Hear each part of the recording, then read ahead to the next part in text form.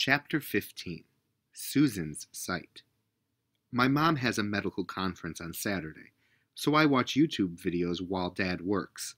He points to the storyboard he's illustrating and shows me how the director will use it to plan her camera angles and shots. I know it's a matter of time before he tries to tie the subject into my life, and after a few moments, he does. Just like the illustrations you do. Have you found them helpful? I do my drawings because they're fun. I head back to the couch and the laptop. It's Saturday. Can I have one day off from learning stuff, please? I email a quick note to my grandma in Boston, then head for the online Garfield archives.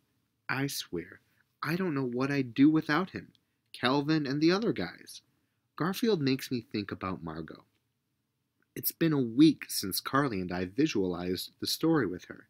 Next time I read, whatever it is, I'll definitely do that again.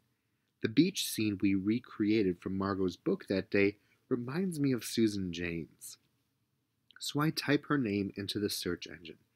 After a million other sites come up, I find a web page in Susan's memory with photos and quotes from her family.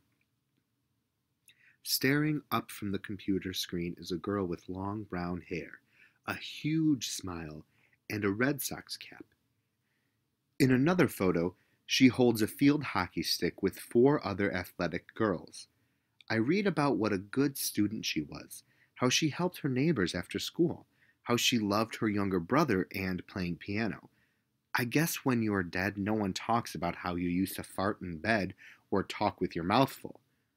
On the last page is a guest book. I scroll through the entries and read what her high school classmates and teachers have to say about her. She's been dead for almost a decade. Yet the latest entry was written only a month ago. I guess some people still miss her.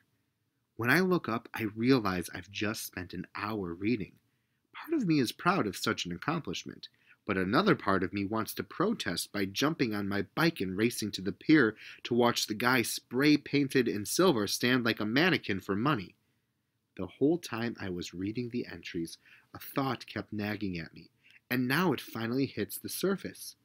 All these people who miss Susan, like her friends Lauren and Danny, miss her because of me. Although no one on this website knows I exist, I'm the missing link in their pain. I feel something dark in the center of my chest. I should have figured this day would be a disaster. Who ever heard of thinking on a Saturday? For several minutes I face the blank screen, then gather my courage and begin typing my own entry. Dear Susan, what were you thinking? You obviously had friends and family who loved you, people more important than some two year old you just met. I've seen photos of me at that age. I was cute, but not that cute. I guess what weighs on me most is this.